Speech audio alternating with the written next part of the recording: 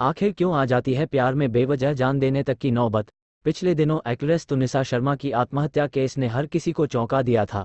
अब सबके दिल में यही सवाल उठ रहा है कि किसी रिश्ते में गुस्सा, हिंसा, धोखा या ब्रेकअप के बीच कोई कैसे इतना कमज़ोर पड़ जाता है कि सामने वाले के लिए अपनी जान तक दे देता है? पेश है एक रिपोर्ट। छले दिनों टीवी एक्ट्रेस तुनिसा शर्मा का अपने को स्टार और एक्स बॉयफ्रेंड शीजान खान के मेकअप रूम में फांसी लगाकर खुदकुशी करने का मामला छाया रहा। इससे पहले बालिका वधु फेम अभिनेत्री पत्युपा बनर्जी ने भी 2016 में आत्महत्या कर ली थी। उनके बॉयफ्रेंड राहुल राज पर उन्हें आत्महत्या के लिए उकसाने का आरोप लगा था। पिछले साल एक्ट्रेस वैशाली ठक्कर, बांग्ला अभिनेत्री पल्लवी डे ने भी आत्महत्या की थी।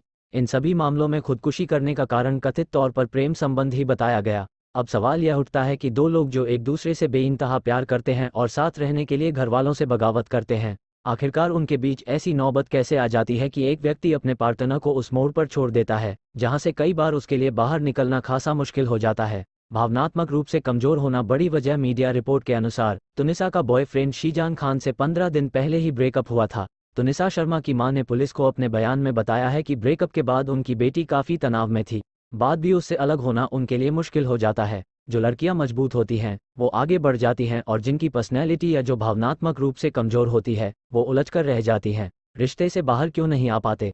एक एनजीओ द्वारा किए गए सर्वे के मुताबिक, दुनिया भर में 15 से 20 साल की उम्र में मौत की चौथी सबसे बड़ी वजह आत्महत्या ही है। ऐसा इसलिए क्योंकि इस आयु वर्ग की लड़कियाँ या लड़कों का दिमाग सही तरीके से मैच्योर नहीं होता है। किसी भी प्रकार की भावनात्मक घटना की वजह से वह डिप्रेशन में जा सकते हैं साइकोलॉजिस्ट रिचा टंडन बताती हैं। कई बार किसी के साथ जीने की इतनी आदत पड़ जाती है कि उसके बिना रहने की सोचना भी कई लोगों के मुश्किल हो जाता है। वह मानसिक तौर पर उस व्यक्ति के साथ इतना निर्भर हो जाती है कि उससे बाहर निकलने की कल्पना मात्र से ही उनको डर लगने लगता है कि पार्टनर के पास आपके लिए वक्त चाहते हैं, लेकिन वह आपसे बात किसी रिश्ते में जब ऐसा दौर आ जाए नहीं होता। आप उनसे बात करना करने में रुचि नहीं लेते और अगर बात होती है तो लड़ाई झगड़ों के ज़रिए ही होती है तो इसे टॉक्सिक रिलेशन की निशानी माने। टॉक्सिक रिलेशन में पार्टनर आपका साथ नहीं देता। वैशाली धक्कर उठता है कि आत्मनिर्भर होने के बाद भी क्यों नहीं ये नकारात्मक विचार होते हैं।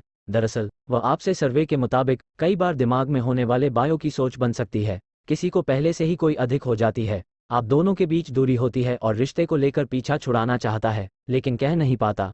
एक न्यूरोलॉजिकल बदलावों की वजह से भी खुदकुशी मानसिक समस्या है और ऐसे में व्यक्ति इमोशनल डैमेज का शिकार हो जाता है तो व्यक्ति में डिप्रेशन के बढ़ने और आत्महत्या करने की आशंका और उनके सामने पूरा भविष्य पड़ा था। सवाल ये लड़कियाँ आगे के लिए मूव ऑन कर पाती हैं।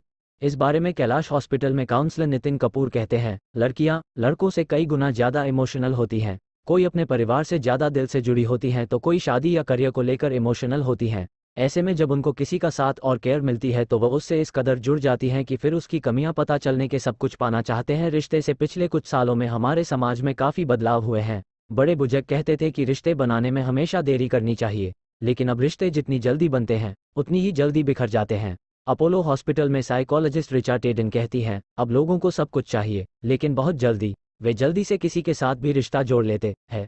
ऐसे रिश्ते में रहने वाले लोग ना तो एडजस्ट करना चाहते हैं और ना ही दूसरे की बात को समझना। हमेशा कुछ नया पाने की चाहत उनको इस कदर बेचैन किए रहती है कि पार्टनर उनकी उम्मीदों पर कभी फिट नहीं बैठता, जिससे वे किसी के साथ फ्यूचर भी प्लान नहीं कर पाते। रिश्ते में मौजूद ये अधूरी उम्मीदें आगे चलकर गुस्से और चिड़चिड़ाहट में बदल जाती है। यही गुस्सा बड़े अपराध या खुदकुशी की वजह बन जाता है।